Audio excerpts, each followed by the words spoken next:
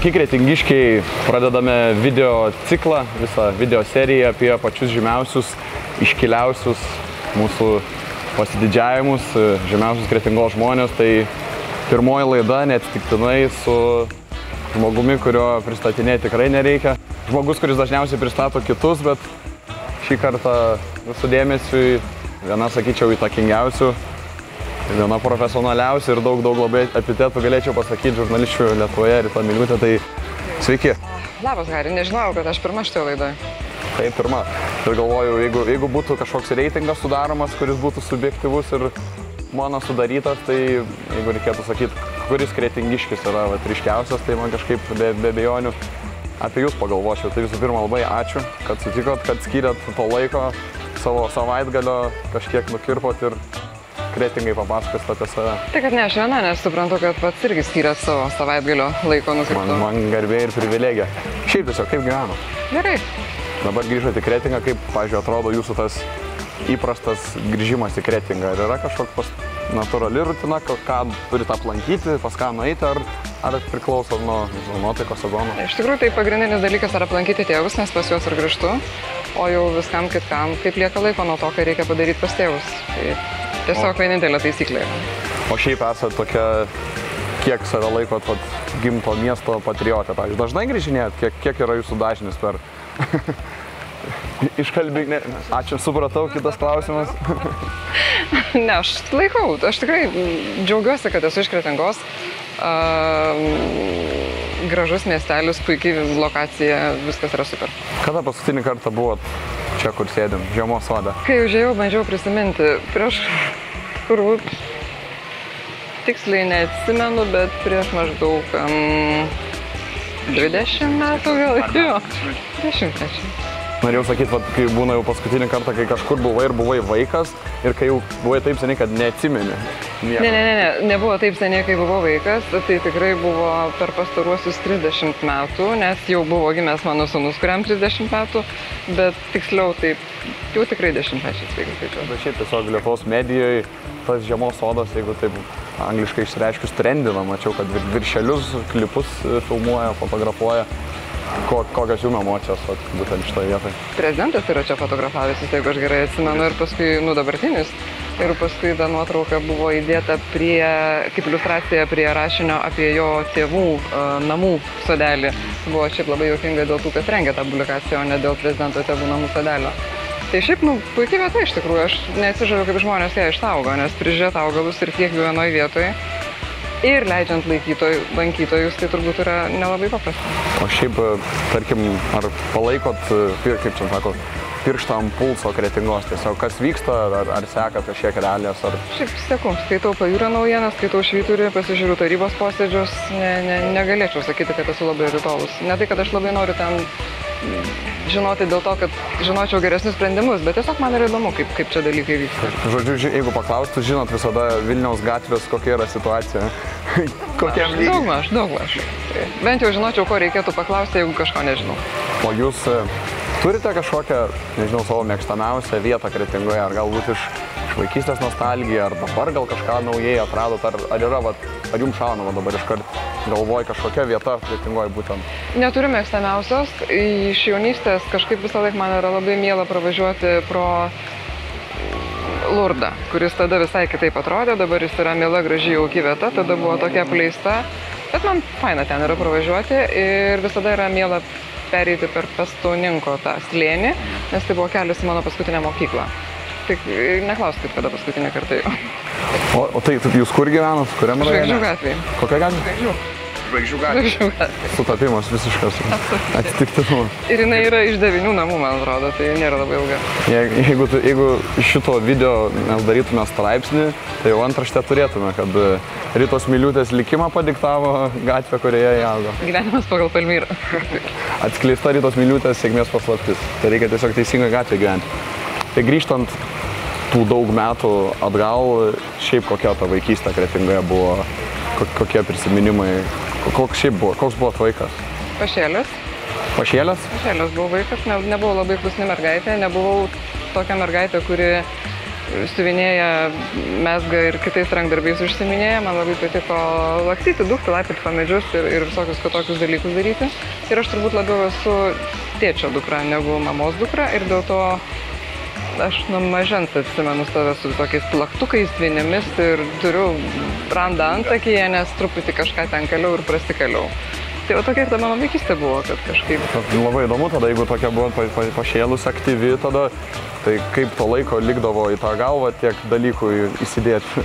Kai esi mažas laikas yra ilgesnis, po to jau kai imi senti kažkaip vis tai traukės. Energijos labai daug. Jo, buvau tikrai energingas, trus vaikas ir labai mėgau skaityti, nepaisant to.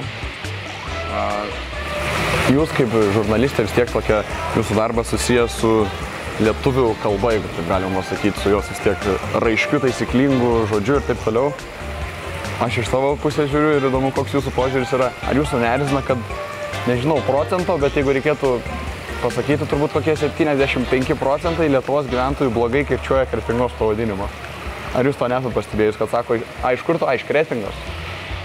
Ne, manęs nerzina. Neerzina? Ne. Niekada nepagalvojat, nes aš su, kiek su visais kalbu ir visada, tai tu iš kur, iš kretingos? Ne, tu iš kur? Iš kretingos. Kretinga, tai vad, nežinau, iš... Neapsik, neapkraunat galvos tokiais dalykais. Ok, nu, tai reiškia, čia, reiškia, čia mano problema, ne tu kur. Gal mano, gal kaip tik mano, tiesiog niekad neatkreipiau dėmesio. Aš jau pastebiu, kaip, aš nesu kokia nors ten gramenacija iš serijos, bet aš pastebiu, kai žmonės kalba netaisyklingai, bet mane erzina tik tai tokie žodžiai, nu, kur jau ten negali niekaip pernešti. Tai tokių lengvų nukrypimų nuo normos aš kažkaip nelaikau pagrindų nervintis ir visiškai toleruoju. Man atrodo, kad neturi kažkokio žavesio, atsiprašau, kad nutraukinėjau. Ir sakau, va tie žodžiai, kur net vizualiai atrodo matosi ir kai jie parašo ten kokį jeigu su A ir kur tiesiog tu vizualiai žiūri ir galvoji, nu, kaip jam nesimato tam žmogui, kad, čia- kad net vizualiai, net Arba beje, kaip rašo Širinskė, nes Širinskė nerašo beje. beje, beje. A, tai kalbant apie, kalbant apie kalbą, o žemaitišką dar pasirukau, na, Nu, tai o kaip, o kaip kitės. Ne, aš visų metų tėvą, aš neku žemaitiškai su broliu ir su, vis, su visas kasmu. Tai jeigu e, Ritai Miliūtai paskambina e, jos tėvai, pas ją pasikeičia tas būna? Ar kalba taip pat? Ne, žemaitiškai. Žemaitiškai? Ok. Labai įdomu, šiaip labai, labai keista net įsivaizduoti, va, kaip Rita Miliūtė kalba žemaitiškai, nes visada ta jūsų kalba tokia taisyklinga, aiški, ryški ir va ta žemaičio tokia, nežinau, bent jau man ji tokia yra grubi Nu, tokia. yra grubesnė, taip, bet nu, Latvių dar grubesnė. Tai čia Tokie geri žmonės taip grubiai kalba. negrubiai. apie šachmatus.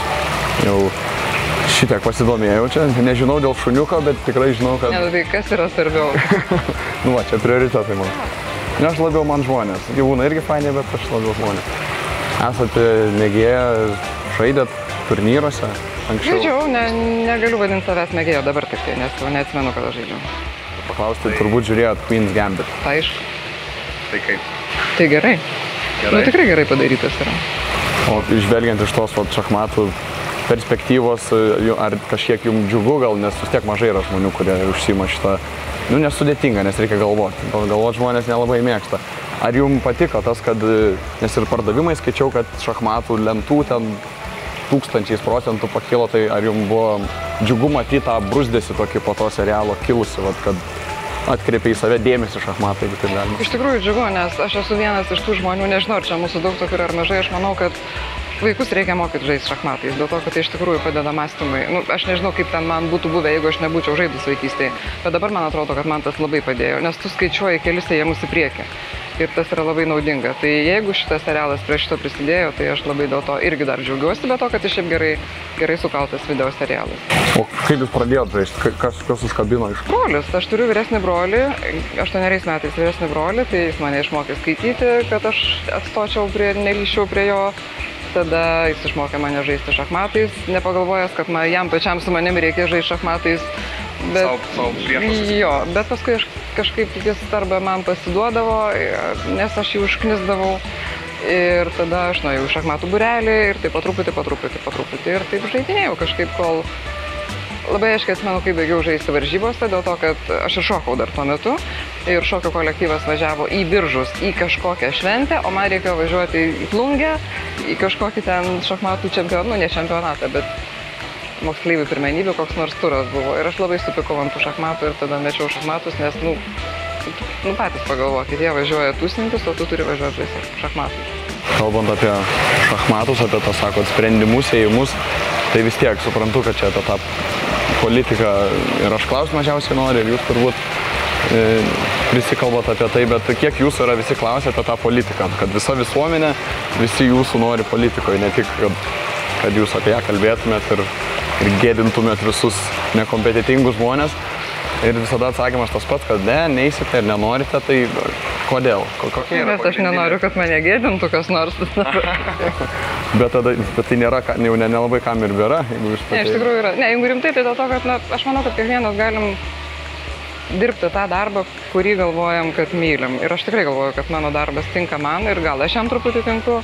Ir kol kas nematau priežasčių, dėl ko aš turėčiau keisti ir eiti į darbą, kuris, nu, politika nėra labai lengvas dalykas, jeigu tu žiūri atsakingai. Čia mes kažkaip įpratę loti ant tų politikų ir sakyti, va, jie vos ne visi vienodi, iš tikrųjų taip nėra. Yra tikrai atsakingai darbą dirbančių žmonių ir tai yra žiauriai sunkus darbas. Nesakau, kad mūsų yra lengvas, bet tiesiog šitas nelengvas man patinka, anas nelengvas man patinka mažiau. Supratau. Tai apie, apie tą politiką kalbant čia, jokais dabar kiek procentų nuo Seimo nario algos e, kiekvieną mėnesį jums Rūta Miliutė perveda? Neperveda rūpiužės skol, skoloje vis dar. Jūs ko, me, me, tiesiog visus metus rašotės ir tada per vieną. Tai kas iš šešis sąskaitai. Kaip kurioziška situacija, kaip, kaip jūs pati tai reagaut. Ar, ar jūs sulaukėt skambučių, pavyzdžiui, iš kokių nors jūsų kolegų, kur ryto ko nesakei, kad e, eini į Seimą, kad to, tokio nebuvo? Buvo, bet ne tiek kolegų, kiek šiaip aš gavau žinučių iš, tarkim, Facebook'e žmonių, nu, vieni džiaugiasi, kiti buvo nustebę Ir e, mano mama kažkaip sakė, ar čia tu, kodėl tu kažkaip taip niekam nesakai, kad tu ketini, bet čia dar buvo iki rinkimų. Sakau, man tai negi tu galvoji, kad aš būčiau tau nepasakysi. Nu jo, nu jo, bendrai nebūtų. Ne, jo, būtum, bet, bet, bet buvo tokių dalykų. Ir dabar dar yra. Ir dabar dar gaunu, kad maždaug kaip, kaip, ten, kaip čia miliūtė derina du darbus ir Seime, ir televizijoje. Tai tu, tu įsijung tada televiziją, įsijung Seimą ir pažiūrėk, kad niekas čia nieko nederina. O, o jūs su, su Rūta šiaip pažįstamos esat, bendrausios kalbėjus? Esam susitikusios vieną kartą Europos komisijos organizuotam renginį moksleiviam. Buvo toks diskusijų konkursas, ne konkursas ir mes buvom komisijai. Tai va. Ir paskui dar vieną kartą susitikom Laisvės televizijos laidoje. Tai du kartai, jeigu, jeigu neklystu. Jau padėkų kažkokių pagirimo raštų negavot iš Rūtos.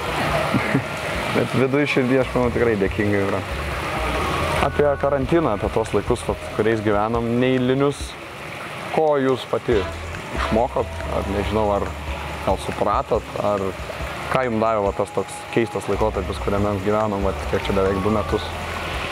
Man iš tikrųjų buvo labai svarbus šitas laikas ir nežinau, čia tarsi atrodytų, kad norisi kažkaip smagiai ir, ir, ir džiugiai kalbėti, bet kalbant apie tas karantino pamokas, jos nėra tokios džiugios ir geros aš nuėjau savanoriauti gruodžio mėnesį. Esu Šaulių sąjungos narė ir Šauliai yra savanoriai. Buvo savanoriai, dabar mes neinam į ligoninės. Ir kažkaip man atrodo, kad aš turiu ką veikti ir tikrai aš turėjau tuo metu ką veikti, nes reikėjo užsiminėti įvairiom kampanijom, žiūrėti, kiek medikai turi apsaugos priemonių, bandyti viešinti tą faktą, kad jie neturi ir to darbo kaip ir buvo per akis ir vieną dieną man tiesiog trūko kantrybė, nes vienas Seimo narys pasakė, kad, nu žiūrėkit, čia reikia kažką daryti, premjerė, gal jūs jeigu pažadėtumėt užsiauginti kasas, o po to nusikirpti, kad žmonės laikytųsi karantino, tai gal tada mes jau ir būtumėm geri ir, ir klusnus besilaikytojai tada aš paskambinau draugiai, kuri dirba ligoninėje, sakau, klausyk, aš nebegaliu, tu padėk mane kaip nors prie tų savanorių, aš noriu kažką daryti, nes kitaip aš tauksiu. Jis sako, aš negaliu tavęs tiesiog paimti iš gatvės ir padėti savanoriauti.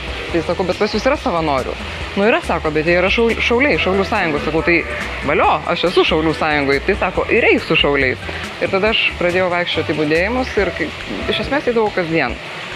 Ir kai aš pamačiau kiek iš tikrųjų mes galim padaryti patys nelaukdami nieko ir kiek tai iš tikrųjų tada leidžia tau jaustis, nežinau, galit vadinti arogantišku, galit vadinti pasikėlusiu, bet iš tikrųjų tai tu tampi patyręs žmogus ir tau nėra gėda žiūrėti kokiam nors nusususiam politikui į akis ir sakyti, o tu šikniau ką padarai dėl to, nes tu nepadarai nieko.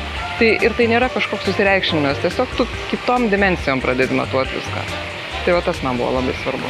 Kaip sakoma, iš, iš pirmų eilių, kai pamatai realią situaciją, kitaip ją ir vertini. Tai kalbant tą tokią, kaip sakėm, nelabai linksma, bet tokia re, realybės gaida, ka, kokiu, ką pamatėt visuomeniai naujo, tai turbūt čia irgi nelabai ką pozityvaus, kalbant apie tą pandemijos laikotarpį, kad visuomenė, ne tik apie politikus kalbant, visa ta propaganda dėl visų samokslo teorijų skleidimo, visoje tai socialiniuose tinkluose, kas vyko, kaip žmonės vat, prieš, yra, prieš mokslą, prieš, prieš faktus. Taip. Mane nustebino, kad yra tiek daug ir aš nebijau sakyti durnių, nes tu turi būti durnas žmogus, kad tu netikėtum mokslu. Kad tu sakytum, kad uh, testavimas arba skiepimas yra, kad tau tam per nosį arba gerklę suleistų vėžinių lastelių. Nu tiesiog, čia šviežiausias atvejis, man sunus pasakojo vakarį čia važiuojant, kad jo kažkoks bičiulis su kaiminė pasišnekėjo ir jinai nesistiepis, nes, nu, vėžį suleis. Tai tas yra žiauriai blogai, bet iš kitos pusės parodė ir labai teigiamų dalykų. Parodė, kokie iš tikrųjų begalinio kantrumo yra mūsų medikai. Aš kalbu apie įvairių lygių, pradedant nuo netgi ten, nežinau, apsaugos darbuotojo ligoniniai. Turint galvoje, kiek jie turi ištverti, aš mačiau, kaip juos tam bando kolioti žmonės, tie, kuriuos jie gydo ir traukia iš mirties, pasveikęs sugeba ateiti pasakyti, kad čia maždaug mane per vėlai dabar išleidžia, man 10 minučių reikia palaukti. Kamon, ta prasme, tas žmogus savo gyvenimą dėl tavęs aukoja tikrąją to žodžio prasme.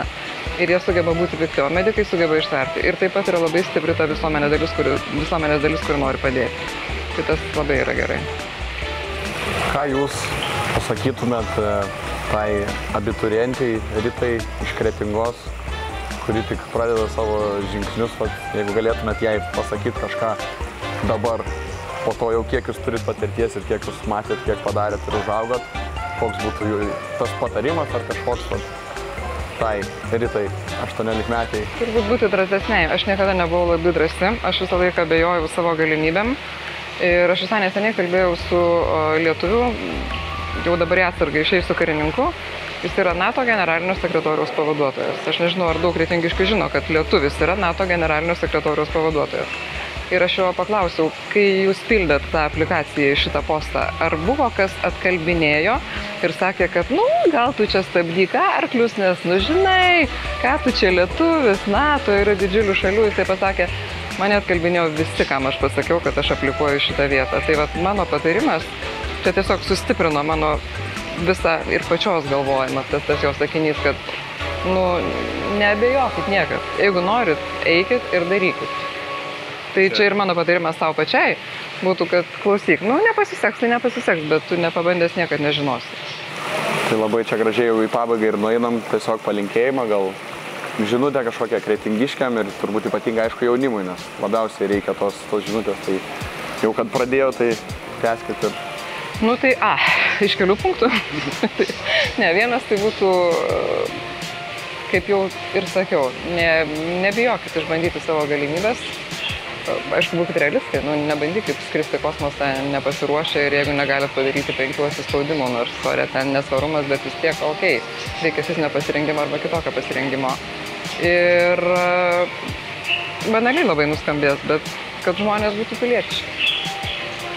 Labai Jums ačiū Rita, kad skyrėt laiko ir labai džiugu, kad turim tokių žmonių, į kuriuos galim lygiuotis, esat pavyzdys ir labai ačiū, linkiu, kaip sakoma, taip ir toliau.